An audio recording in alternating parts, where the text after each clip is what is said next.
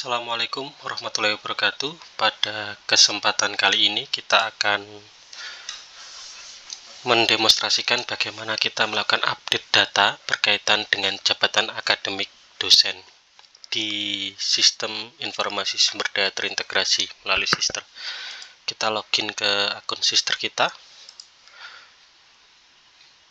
Kebetulan kami termasuk salah satu yang masih beruntung karena masih diperkenankan untuk bisa naik di jenjang yang sama dari lektor 200 ke lektor 300 kita pilih tambah jabatan di sini.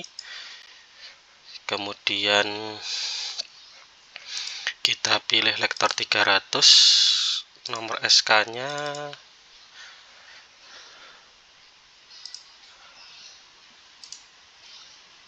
391 kita copy saja.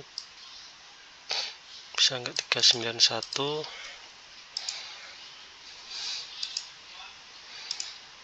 391 LDT 01 2004 TMT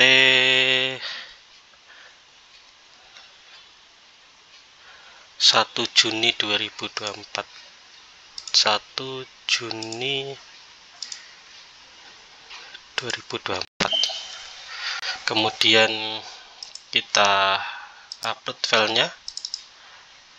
Kemudian kita kirim ajuan. Kemudian kita konfirmasi. Kemudian kita cek riwayat ajuan kita.